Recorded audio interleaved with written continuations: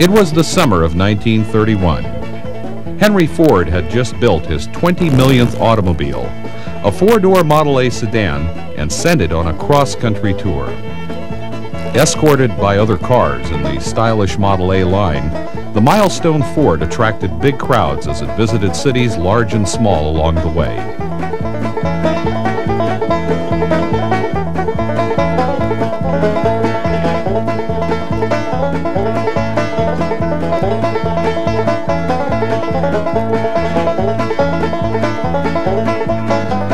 States were so proud to be a part of the car's route from the east to the west coasts that special license plates were presented. Mayors and governors signed the car's logbook.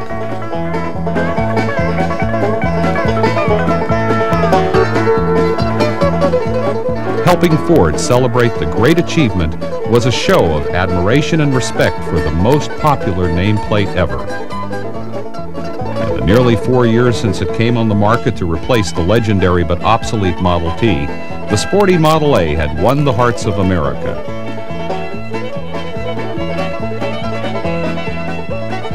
It had stylish good looks, dependability, and a quick four-cylinder engine that made it the snappiest performer in the low-price field. But buyers were changing, and Henry Ford, who had ruled the automobile industry for two decades, was worried. The stock market crash of 1929 was hard on the auto industry. Competition was keener than ever. Ford's old nemesis, Chevrolet, had been closing the sales gap for some time. Then in 1929, Chevy came out with a new six-cylinder engine and its sales skyrocketed. The new Chevys were not only faster and smoother but had the styling to go with it. They were beating Henry Ford at his own game, domination of the low-price field. By the middle of 1931, Chevys were outselling the Fords, and the king of the automakers knew he had to do something about it. On July 29, 1931, he made his decision. If it was cylinders the public wanted, he was going from four to an eight. But he didn't tell anyone about his plan, not even his closest associates. Instead, he abruptly announced the closings of 25 of his 36 plants, laying off 75,000 men. They would stay closed, according to Ford, until conditions improved. But in his heart, Henry Ford knew it was all over for four-cylinder cars. His ace in the hole was the work being done in secret for over a year in this quiet building on the grounds of his Greenfield Village Museum. It was Thomas Edison's historic old invention laboratory brought here from his home in Fort Myers, Florida. For years, Ford had tinkered with an X8 engine that he hoped one day would power his cars but it was heavy and complicated. Road tested in Model Ts, it was found that the bottom cylinder banks were too close to the ground and the spark plugs fouled easily. It was an idea that didn't work, but Henry Ford seemed to find inspiration in failure. Why not design a simple, lightweight V8 engine with the block cast in a single piece? A one-step, low-price V8 would be a breakthrough in engineering an accomplishment to rival anything he'd ever done before. The experts said it couldn't be done, but after nearly a year, his men had made some amazing progress. Working on the secret V8 engine design was Henry Ford's personal engineer, Charles Schultz. Assisting him on the complex ignition system was Emil Zoerlein. Longtime Ford engineer Eugene Farkas was given the task of designing a chassis for the new engine. The men had been told to do the impossible build a complete V8 engine from a single casting and test it. It was an engineer's nightmare, something many had dreamed but none had dared. Yet the standard V8 engine was nothing new to them. Henry Ford had been building V8 engines for his expensive Lincoln line of automobiles for nearly a decade. But the Lincoln V8 engine was like all the others in the industry, cast in complex sections, machined and bench assembled. It was a system too expensive to consider for a low priced car. Ford drove his elite engineering team to unlock the secret how to cast the block in one piece. To test their ingenuity, he forbid them from consulting with other engineers and forced them to use Edison's old belt driven tools instead of modern equipment.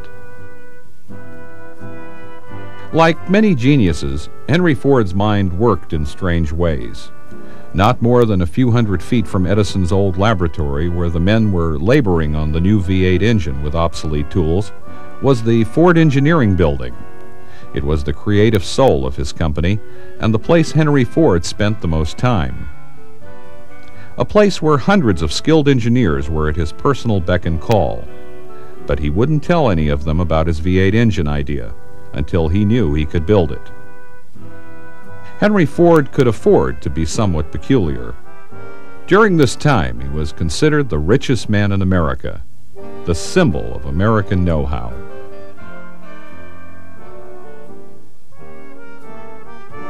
He owned his own airport and built the famous Ford trimotor airplanes, which took off across his industrial empire in Dearborn, Michigan over his immense River Rouge plant, the largest automobile manufacturing complex in the world. It employed thousands and was a place where people came from around the world to marvel at the sheer spectacle of raw materials going in at one end and finished cars coming out the other.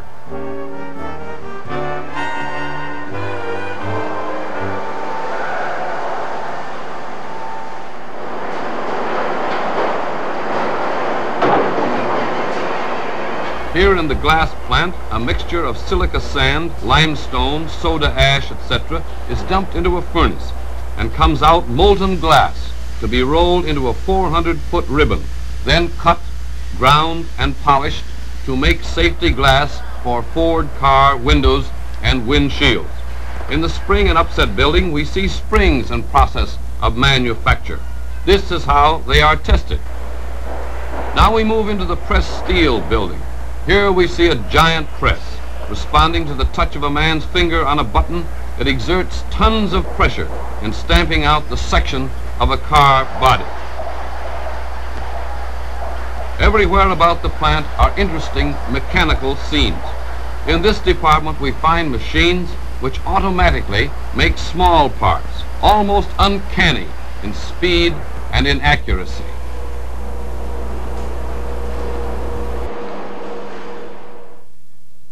Henry Ford had tested a V8 engine and by now had let his son Edsel and top production men in on the project. Edsel at 38 was the soft-spoken president of the company. Ford was even more convinced that his engine idea would work. The secret V8 engine project was now moved into the big engineering building under the supervision of Chief Engineer Lawrence Sheldrick. Sheldrick had been the one Ford man most certain that casting a V8 engine in one piece was impossible. His fears weren't completely unfounded. Men were thrown to the job of engineering, casting, and testing the new Ford V8 blocks. For every success, there were a hundred failures. Edsel's talent was in styling, this was well proven by his work with the Model A and his luxury Lincoln line. He had been pressing his father all along for a more competitive car. So his father put him in charge of styling an entirely new body to go with the lightweight V8 engine. Executing on his ideas would be veteran stylist Joe Galamb, who had designed all the Ford bodies since the first Model T. Their first clay models would be an attempt to streamline the existing Model A look with a wide lower body and a racier front end with a sweeping grille and headlights faired into the fenders. But as the design developed, the front end treatment would follow along the more traditional lines of the company's big, elegant Lincolns. In the first week of December 1931, Henry Ford ordered all Model A passenger car production stopped. From now on, he was committing all the resources of his company to building a V8 powered replacement for his famous Model A. Until further developments, he would leave the press and the public in the dark about his V8 engine. The first prototype shows the evolution of Ford's V8 engine design. The starter was mounted above the bell housing, and the exhaust manifold wrapped around to the front. It was now January 1932. Millions had been spent, and the casting problems with the V8 engine were still not solved. Finally, production boss Charles Sorensen rolled up his sleeves and personally directed the first successful casting. From that day on, the men would call him Cast Iron Charlie. Meanwhile, the entire Ford organization was edging toward the brink of disaster. Dealers had no new cars to sell. Many were barely getting by selling parts and used cars. A lot of them went broke. In the first week of February 1932, Henry Ford broke his silence. He announced to the public that he was launching a brand new low priced Ford V8 along with an improved four cylinder car called the Model B. By the end of the month, men were returning to the plants to learn how to build the new cars, and the Big Rouge plant began gearing up again for production. At last, after millions spent, came the day the company was waiting for. On March 9, 1932, the first Ford V8 came off the line. As his son Edsel and members of his staff gathered for the event, Henry Ford triumphantly stamped engine number 18 1. The 18 stood for Model 18, the V8 passenger car.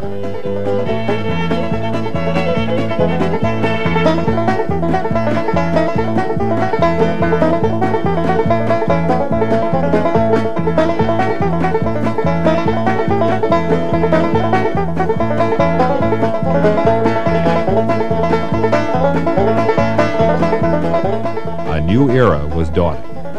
Ford's trademark low price and dependability was now blended with the smooth power of an economical lightweight V8 engine.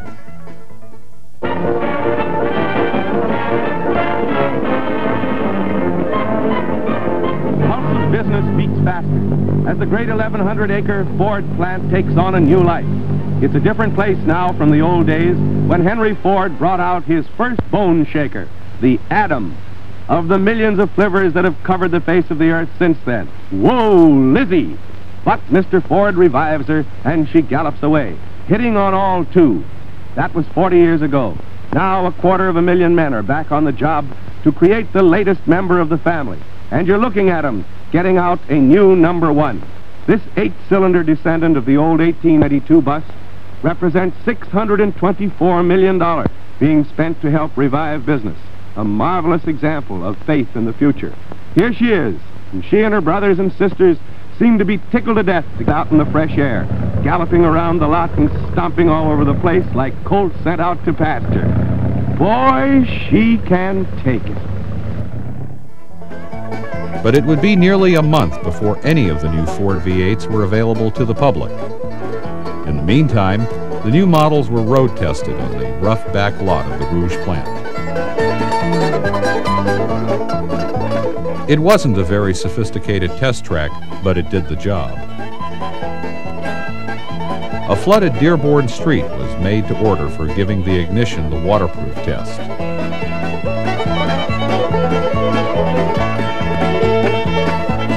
As assembly plants across the nation from Buffalo to Seattle geared up for Ford V8 production, crowds of interested spectators, dealers, newsmen, and job seekers gathered at the factory gates for any new word from Dearborn.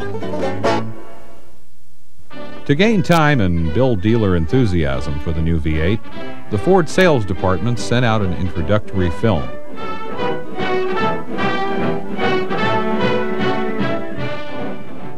This new V-type 90-degree engine develops 65 horsepower.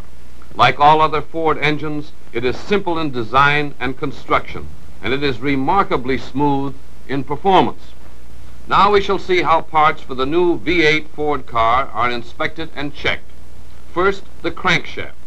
This Ford-developed machine measures the static and dynamic unbalance of the crankshaft. Once the unbalance is obtained, it is a matter of only a moment to determine the amount of metal necessary to be removed from the throws of the shaft to bring it into balance, and it must balance within three-tenths of an inch ounce, an exceedingly close limit. This machine, operating somewhat differently, also checks the static and dynamic unbalance of the crankshaft. The camshaft is carefully checked for accuracy. On this specially developed gauge, the spacing of the cams and bearings is checked. They must be in their proper position within 10 one thousandths of an inch. This gauge checks the rear bearing flange, and this one the, location of the fuel pump plunger eccentric. Both are held true within 10 one thousandths of an inch. Still another inspection of the camshaft. Here the contour of the cams is gauged. They are not permitted to vary more than two one thousandths of an inch. Connecting rods, vital parts of the engine, are closely checked. The diameter of the piston pinhole must be held true within three ten thousandths of an inch. Here, the big end of the connecting rod is weighed as a check on the dynamic balance. This is the gauge used to check whether the bore of the big end bearing is square with the face. Take little things like the piston pins. Here's where they are inspected. In this gauge, the pin is checked for length, 2 and 13 16 inches. The location of the ring groove is also checked here. The diameter of the piston pins is held true within three ten thousandths of an inch and no pin can be off weight more than two grams, the 14th part of an ounce. In this room we find an inspection of the pinholes in the piston. The diameter of the holes is held to a limit of three ten thousandths of an inch. The weight of the piston is held within two grams. Now here's an interesting machine which removes the overweight. A scale on the machine is set to the overweight figure. The piston is placed in position. The machine started and metal chips bored from the inside drop into a cup. When the weight of chips equals the amount to be removed, the machine automatically stops. Now for a little assembly. You have seen a set of connecting rods, pins, and pistons. This is how the pin, piston, and rod are assembled and checked for alignment. And these assemblies are then carefully weighed and matched in sets. Flywheels are statically and dynamically balanced. On this machine, the operator determines the amount of unbalance in the flywheel, drills out the necessary metal to bring it into balance, and then gives it a final check. The limit is two-tenths of an inch ounce. Split valve guides are made in perfect half circles, making them interchangeable.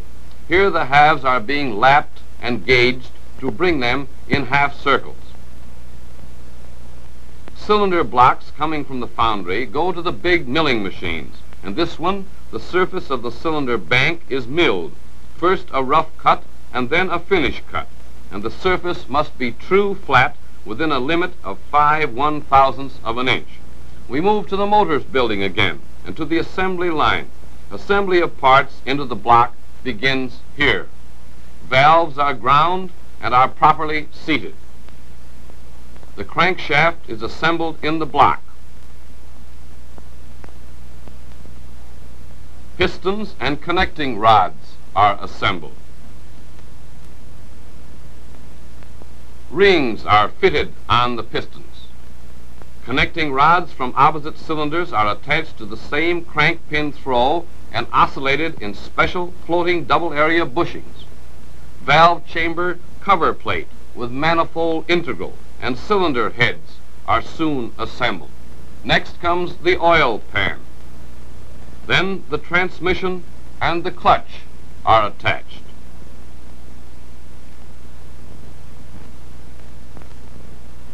The completely assembled engine comes off the line and moves on to the dynamometer department where it is tested.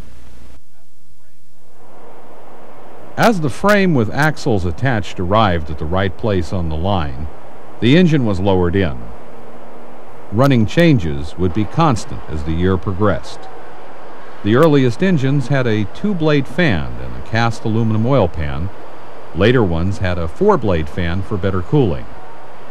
A tall distributor coil was another mark of an early 1932 Ford V8 engine. The distributor, coil, and condenser are combined in one unit at the front of the engine.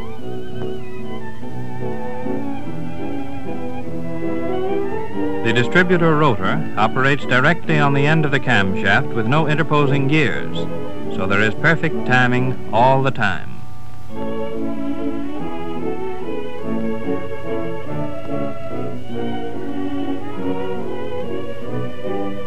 Here we have the distributor cut away so you can see the mechanism. Full automatic spark control is provided by the action of the centrifugal governor, but a new feature is the vacuum-controlled brake on the governor, which controls its action and ensures perfect timing even when the engine is suddenly accelerated under heavy load.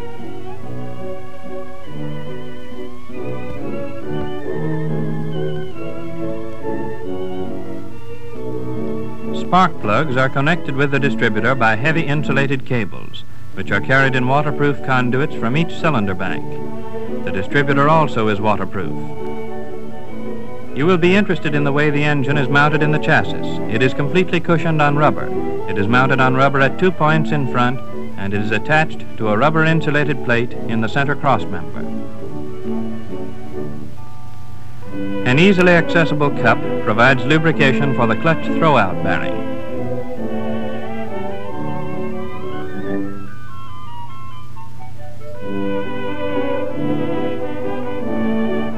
Gear shifting is easy. The transmission has a silent second, helical cut gears in constant mesh.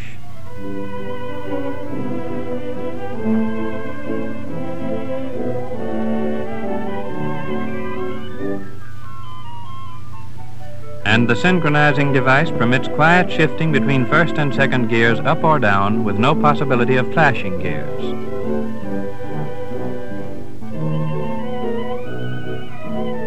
The rear axle is a three-quarter floating type, the advantage of which is that the weight of the car is carried on the axle housing. Axle gears are forged integral with the shafts. Roller bearings are used throughout as the most efficient, the double taper roller bearings on the pinion shaft assuring perfect alignment of gears. The drive shaft is the tubular type. The sturdily constructed front radius rods run from the front axle to the center cross member where they are joined. Are attached in a rubber insulated ball socket. By the use of the rubber insulator here in the socket, a new element of quietness is introduced. Metal-to-metal -metal contact is eliminated, and lubrication is unnecessary. Here again in the new car is another basic Ford principle, the transverse cantilever spring. This car we find the rear spring mounted back of the rear axle housing, a low flat spring with full flexibility. Rear springs are made in several sizes to meet the riding requirements of the various body types.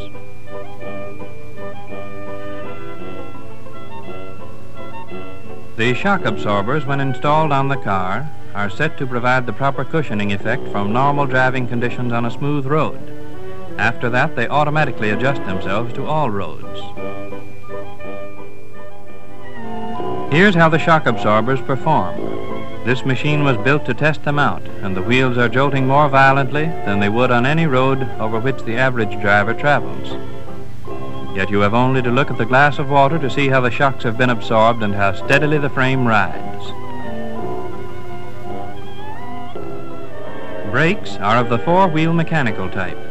The service brake has a braking surface of 186 square inches. The brake drums are of a special cast alloy iron, and tests show that they will not easily score.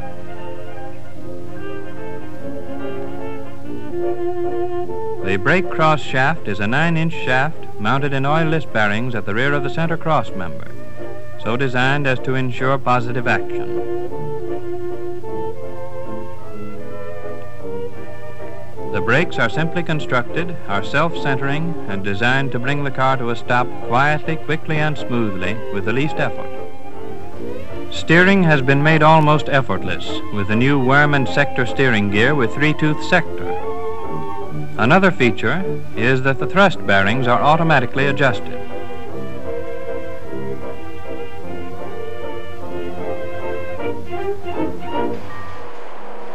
On the line, right along with the V8s, went the four cylinder engines that went into passenger cars and commercial vehicles.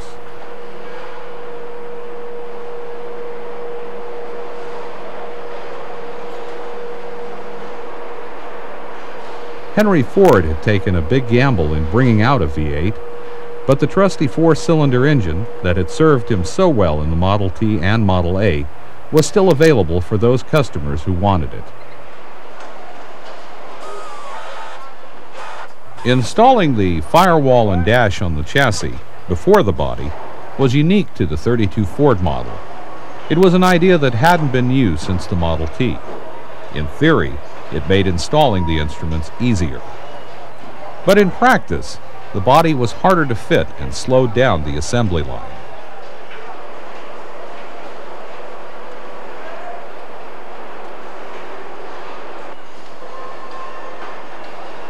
There were other features unique to this model. The frame side rails now formed part of the body, and the spare tire hanger doubled as the frame rear crossmember. The 1932 Ford wheels also had some new changes. Steel spoke wheels are used on the new car. Here's how the spokes are electrically welded to the rim, making one-piece construction. There are 32 spokes in the wheel. The large hubcap is of rustless steel.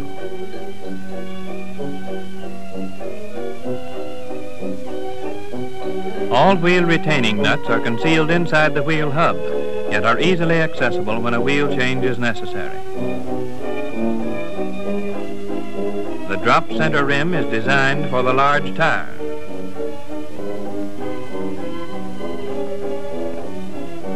Tires on the new car are large, 525 by 18, and add measurably to riding comfort. The valve stem comes through the wheel rim at an angle and is easily accessible. The 1932 model pioneered many firsts in Ford design. It was the first to have a fuel pump and the first to have the gas tank at the rear of the car. Here we have the fuel tank. It is made of terne plate, electrically seam welded into one piece, and is unusually strong. It has a capacity of 14 gallons. The pump and gauge tubes running forward are electrically welded together for strength.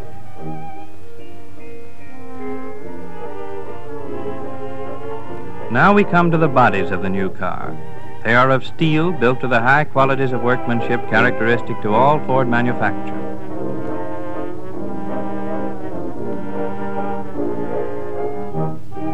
An interesting feature of the fine mesh wire used in the soft roof construction of the sedan bodies is that it is completely insulated and so may be used as a radio aerial.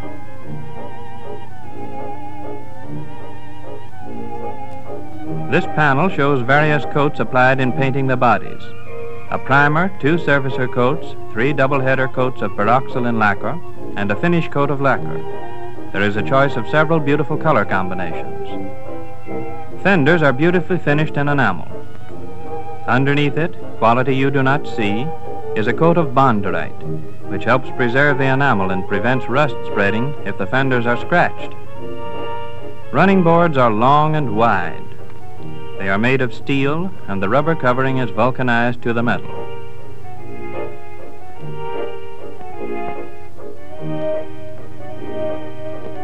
Another feature of the running board is that it is attached directly to the side member of the chassis frame.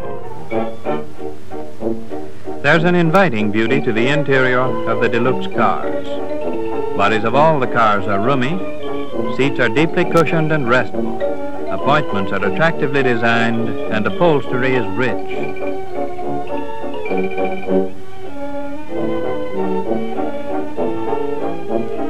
The Turkish-style piping enhances the restfulness of the seats.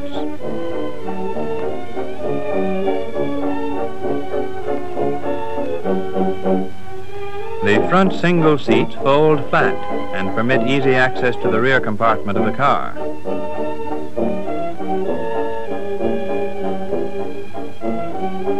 Driving comfort is assured by the easily adjustable driver's seat. It has a 4-inch range of movement.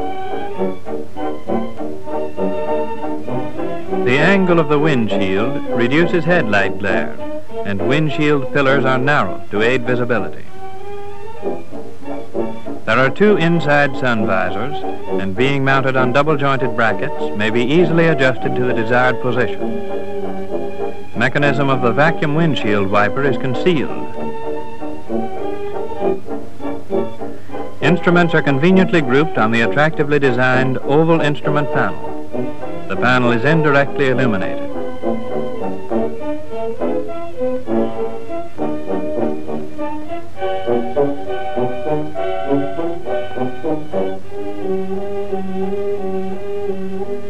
The steering wheel is of three-spoke design, permitting easier visibility of the instrument panel.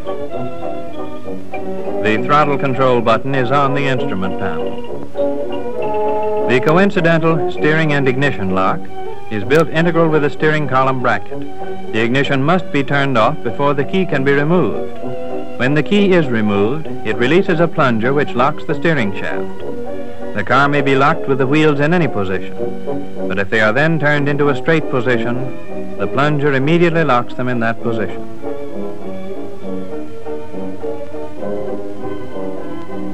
There is beauty in every detail of the car.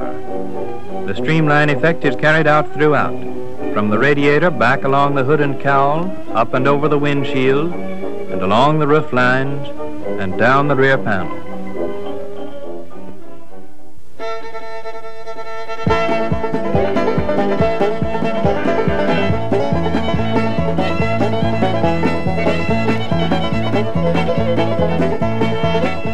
On March 31, 1932, three weeks after the first one came off the line, the new Ford V8 was at last unveiled to the public. The company's official introduction of the long-awaited cars was at the big Highland Park showroom on Woodward Avenue in Detroit.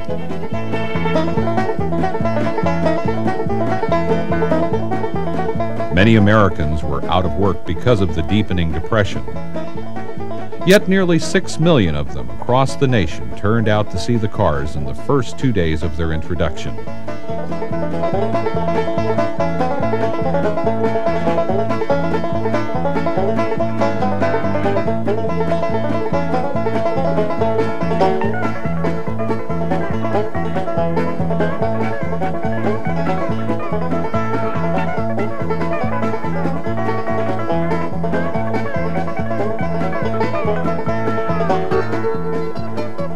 The beautiful styling of the new 1932 Ford V8 was a big hit with critics and the public alike. Yet the eight-cylinder engine was the subject of hot debate among skeptics. Some contended that twice the cylinders of Henry Ford's old four meant twice the gas consumption. Others feared that the pistons fired at an angle like the Ford V8's would wear out on the bottom side. In San Francisco, the cars made their debut at the Civic Auditorium.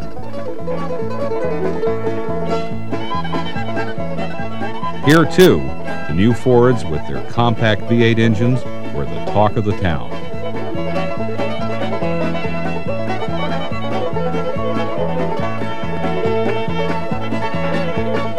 After 30 years, Henry Ford had at last built an automobile, not just for utility, the engineering, ride, and beauty that customers were now demanding. Let us enjoy the beauty of the details for a moment. The front has an impressive distinctiveness, a richness of design.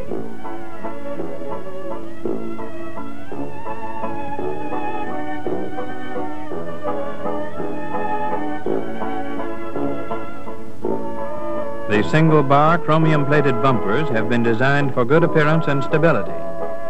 A double corrugation provides strength, and the design is such as to minimize possibility of locking bumpers with another car when parking. Front license plate brackets are on the front tubular cross member of the frame. The license plate is easily visible, but it neither mars the beauty of the front nor does it interfere with the airflow to the radiator. Headlamps have been designed to harmonize pleasingly with the lines of the car. To ensure permanent brightness, the headlamp shells are of rustless steel. There is further attractiveness in the outward curving lenses. Cowl lamps give a touch of smartness to the deluxe cars. Individuality of the new Ford car is expressed in the beautifully designed V radiator shell, which is finished in the same color as the car. Its appearance is further enhanced by the grille, which is finished in a French gray color and set off by a rustless steel molding.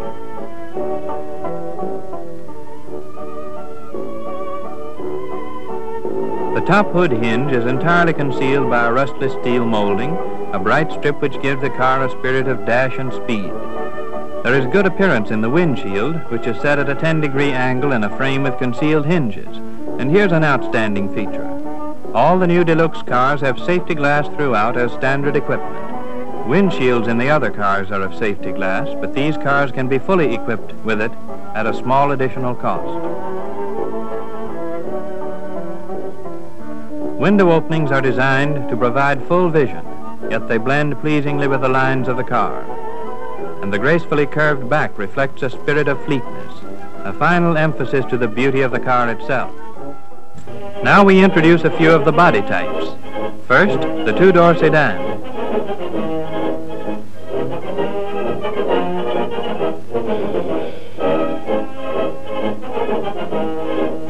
Now the deluxe two-door sedan.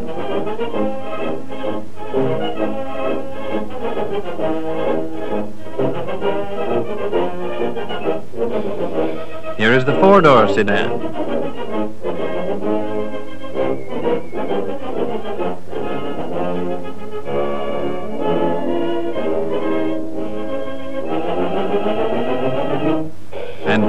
The deluxe four-door sedan.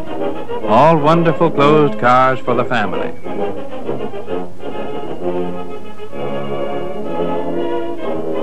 The Victoria, another beautiful car.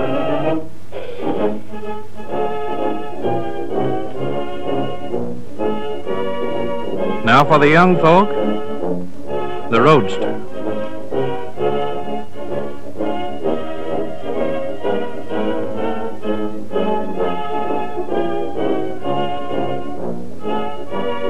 Look at this, the Deluxe Roadster.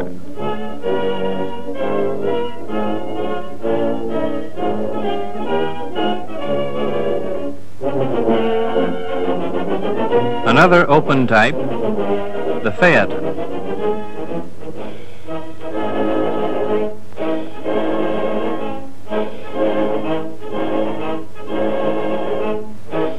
Here's the deluxe Phaeton with curtains up.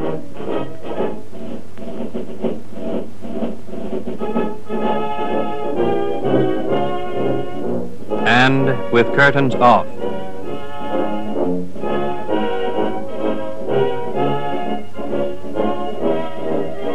For the man who wants an individual car, the coupe.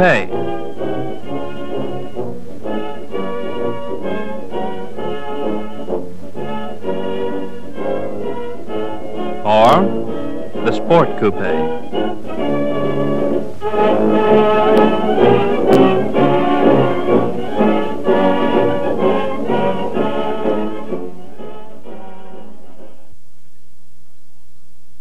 An additional type offered was the Deluxe Coupe, also called the three-window coupe, with front opening or suicide doors and no side quarter windows, both styling firsts for a Ford. The convertible sedan was a design carryover from the Model A and featured a soft top that folded back, leaving the body sides and roll-up windows. The Cabriolet was an all-weather convertible. Unlike the Roadster that had side curtains, this model had roll-up windows and appealed more to buyers who wanted a little extra luxury. One of the most beautiful of the 1932 Ford models was the Deluxe Phaeton, yet relatively few were sold, except to the wealthy in mostly fair-weather states. Unfortunately, Comedian W.C. Fields made a star of one of these rare models for his zany film, If I Had a Million.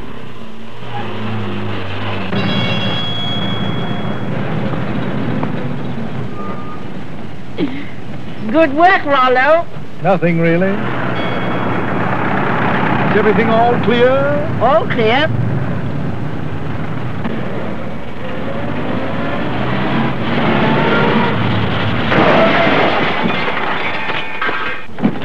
Hurt? Hey, come on! Where's the doctor?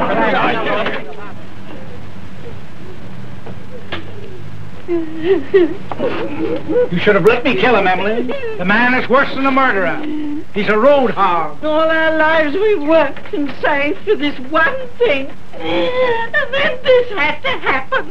Road hogs. A constant menace to society. They should be wiped out, Emily.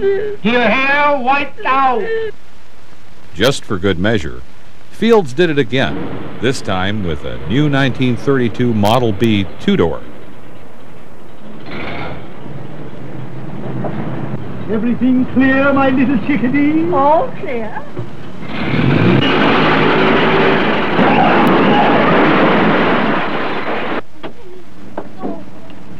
Oh. Oh. Gracious. Oh. Are you hurt, dear? No, dear, but oh, Rollo, look at your hat. Yes, my sweet. I must have it reblocked.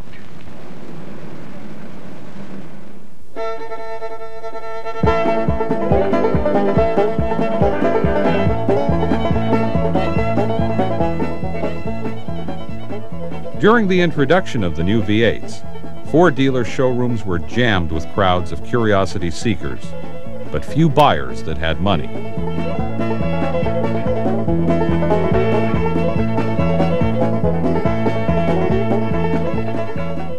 To stimulate sales, dealers were told to get the cars out on the street where people could see them in action.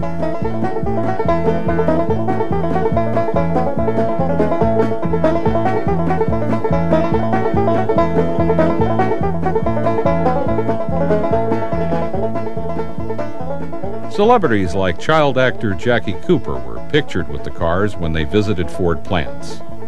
Here, young Cooper admires a classic Victoria model at the Rouge plant.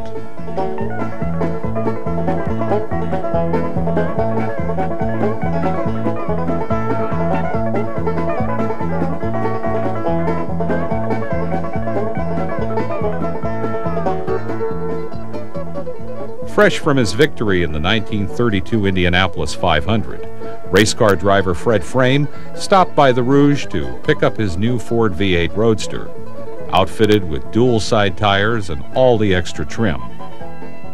It was a gift from Mr. Ford, and Frame showed his appreciation by taking it out on a quick spin.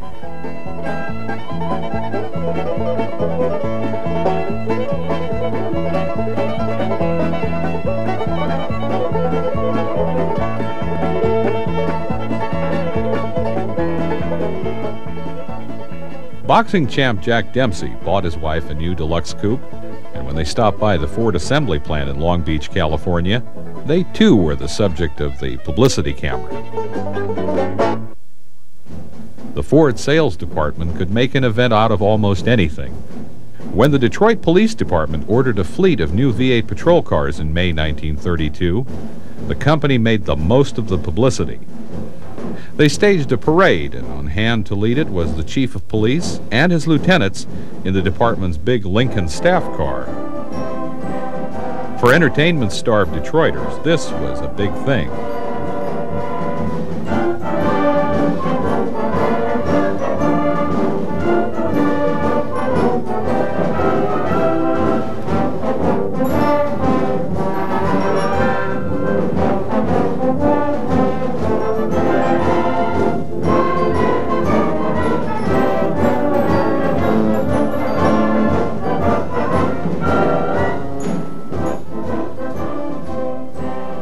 There for every duty, from open roadsters and phaetons for investigators to big staff Lincolns and closed sedans for street patrol.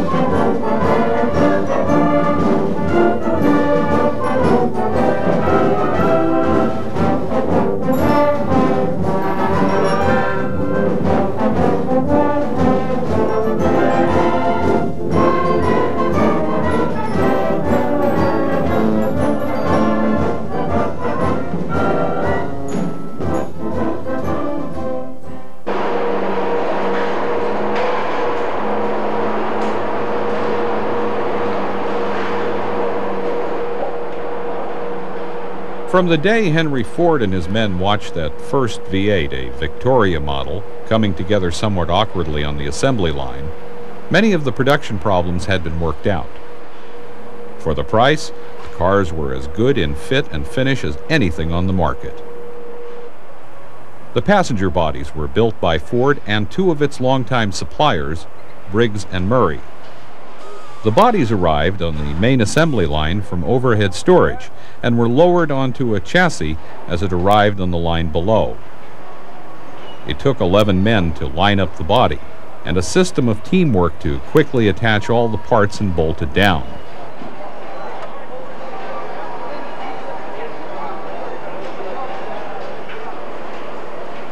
Henry Ford was fussy about the workmanship, and the men were required to use fender protectors and fill out inspection tags.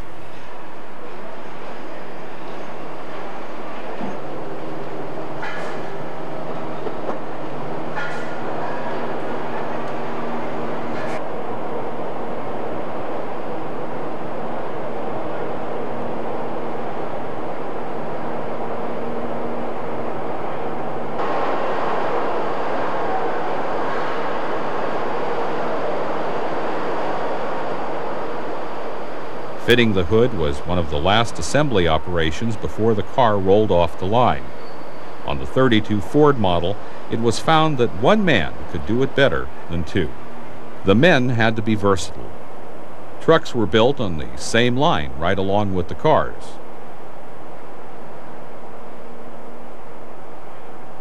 Finished Fords were checked into the delivery yard where they were held for dealers to pick up or for shipment out by truck, rail, or ship. In May, the company opened a new plant in Seattle, Washington. It was the first with an assembly line designed specially for the new V8.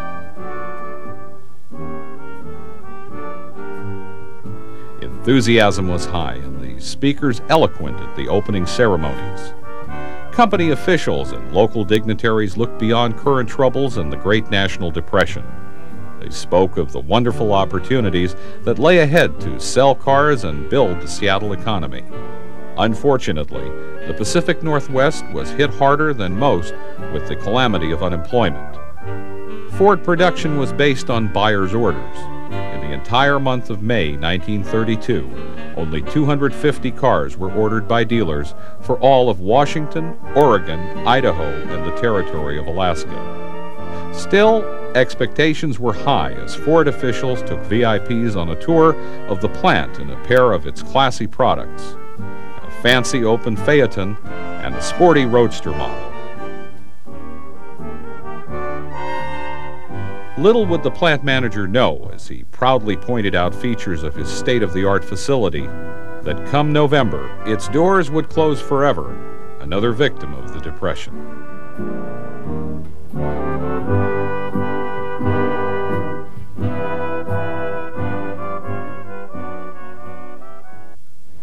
In many parts of the country, hard cash had all but disappeared. What's the idea for running that light? No, officer, I didn't run that light. That light changed when I was right in the middle of the street. Why, that light changed when you was half block down the street. Oh, no, it didn't. Oh, yes, it no, did. I'll I have to don't think it did. For it because we're taking care of fellas for running these red lights. What's the name? Collins, What's the first name? Roy H. Roy H. All right, sir. I'll have to order you in court, and it probably will cost you some potatoes Well, because that's what we're finding these fellas. What's your number, please? 367585. All right, sir. Bring this bag in tomorrow and, and bring some potatoes with you because it'll probably cost you plenty of them. Hear ye, hear ye. The Honorable City Court of the City of Marion, Indiana is now in session. Lloyd E. Moore, charged with reckless driving. Stand up here, please.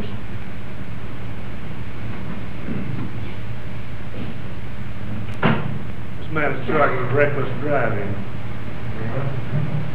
You drove uh, through a funeral procession. Yes, sir. You know better than that. Yes, Sir. Are you guilty or not guilty of the charge? Guilty? Guilty. Well, we've been finding in potatoes. Have you got any potatoes? No, I haven't. The fine, uh, the usual fine for this is 10 bushel of potatoes. What have you got? You haven't got any potatoes. chicken can give you some flour, some chickens, and uh, potatoes. haven't. All right, then, you bring in uh, a sack of flour and two chickens. All right, you got them here? Yeah. All right, bring them in.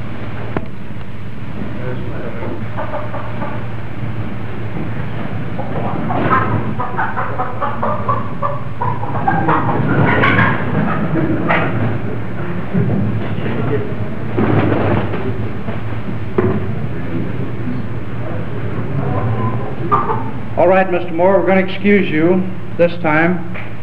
But be very careful and uh, avoid doing this again. All right, you may go now. It was a long, slow summer for the automobile business. Ford dealers had two engines to sell and the most exciting styling in the low price field. And yet, it was growing harder to get customers to come in for a look. Still, life went on. People had to have new cars. By July, a new trend had been established. The V8s were now the most popular Fords and were outselling the four-cylinder Model Bs 3 to 1. Easily the best-selling open Ford for the year was the sporty deluxe V8 Roadster. The price was $500 and it came with a rumble seat, folding windshield, genuine leather seats, and a full set of tools. To make the sale, the dealer was more than happy to throw in a full tank of gas and a complimentary servicing after it was broken in.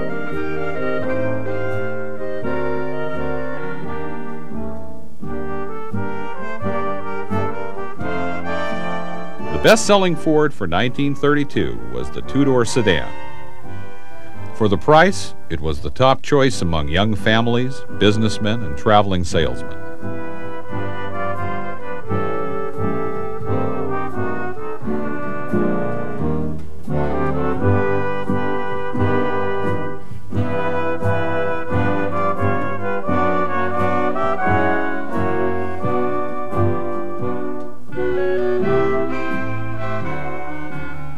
For many who bought some of those earliest Ford V8s, however, real trouble lay ahead.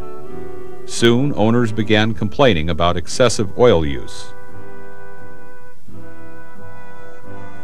Then, dealers were getting cars back from customers with worn-out engines. Some of the V8 engine blocks had pinholes from bad casting, and nearly all of them suffered from a faulty pan design that caused the oil to surge away from the lubricating points on hard turns. Ford dealers had to repair or replace many engines, while the company worked hard to counter the bad publicity. It was decided to sponsor a new Ford V8 on an endurance run through California's hot Mojave Desert. The run would feature veteran race car driver Eddie Pullen and start with all the incidental publicity and official good wishes at the desert town of Rosamond, California. The starting date was the 6th of June, 1932. Co-sponsor was Pennzoil Motor Oil. The car was a stock 1932 Ford Victoria model. It was Pullen's job to prove to the automotive world that the Ford could take it, that its quick V8 engine could stand up to the worst kind of punishment under the worst kind of conditions. Timed by Western Union and running at all-out speeds, he would circle the desert course for the next 33 days, a thousand miles a day around the clock. Pullen and his relief drivers would spell each other in four-hour shifts, stopping only for fuel and water and sometimes a little oil. Pullen's Desert Dash was a big event for the mining town along the route.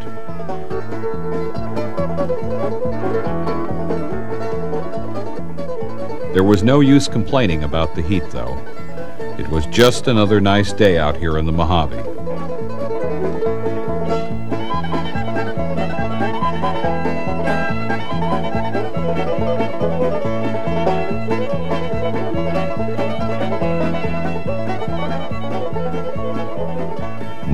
After mile, Pullen drove the Ford Victoria, switching drivers often. In all, 155 different drivers would take a turn at the wheel.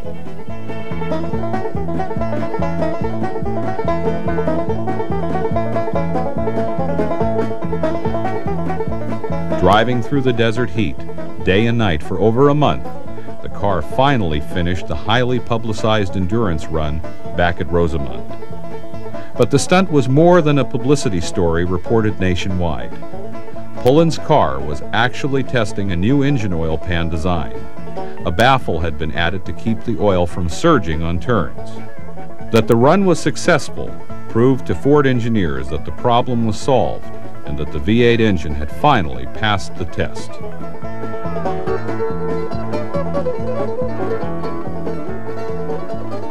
After the Mojave run, Pullen took the Marathon Ford on a publicity tour of the West. At Marysville, in Northern California, the car was put on display at a local Pee Wee golf course with nightlights. Here, the public was invited out to see the famous V8, along with the rest of the Ford line.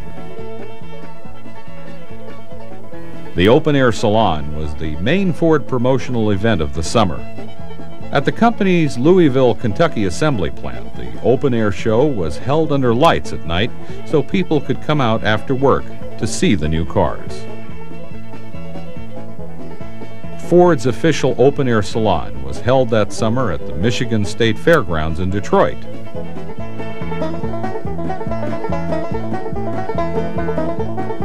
Here in the main building were all the Ford and Lincoln models on exhibit. It was a free show and a good place to spend the afternoon with friends.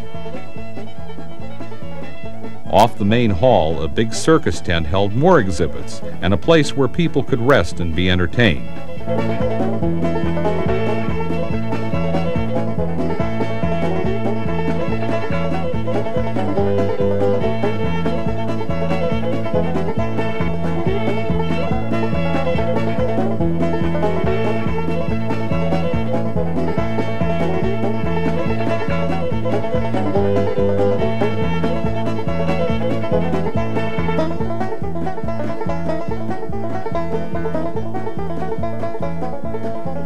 This was Ford's best chance to drum up interest in its cars during the long, hot summer. Under the big top were more cars and manufacturing displays showing how things were made.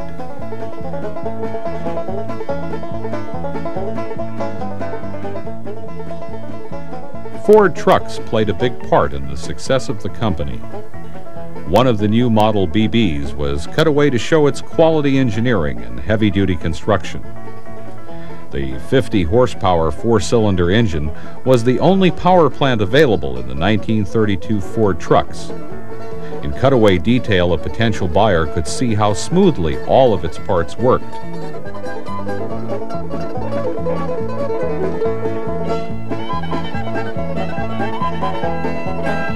Safety glass was a big selling feature of the new Ford.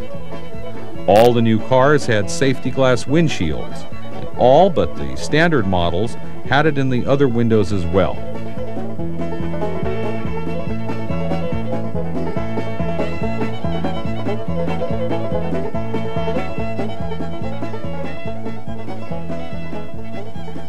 A Ford man gave a convincing demonstration to show what a thrown rock did to plate glass compared to the new shatterproof safety glass.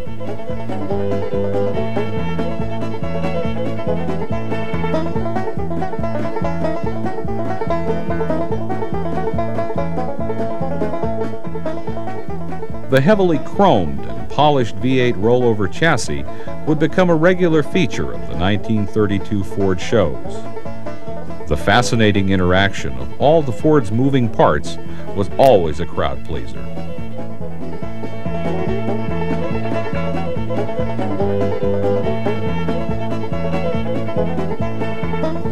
Highlight of the show was the outside track where visitors could take a ride in one of the beautiful new Ford V8s. The V8s were good in the hills, and to show how much power they had, the driver sped up a ramp, then gave a braking demonstration.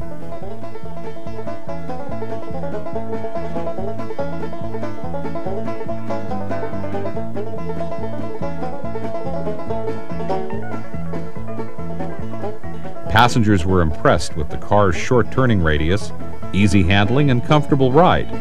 It was fun for the whole family.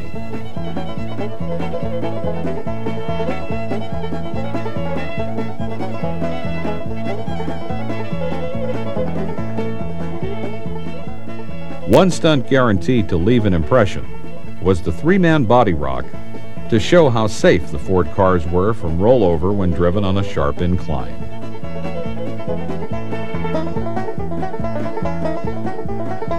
Carload of girls in an open phaeton is particularly relished by the men who give them a thrilling demonstration of the Ford's road-hugging qualities. If that didn't make them want to buy a Ford, nothing would.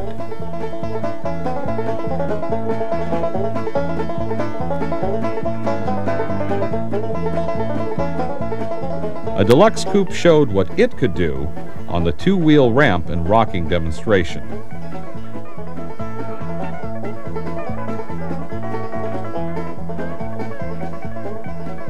Before leaving the show, visitors could sign up to win a new Ford. Times were hard. There was still hope to win the car of your dreams. The car Henry Ford had bet his whole fortune on, with an engine they said couldn't be built. It would go down in history not only as an automotive milestone, but as the car that saved the company from its competition and made the flathead V8 engine synonymous with the name Ford for the next two decades.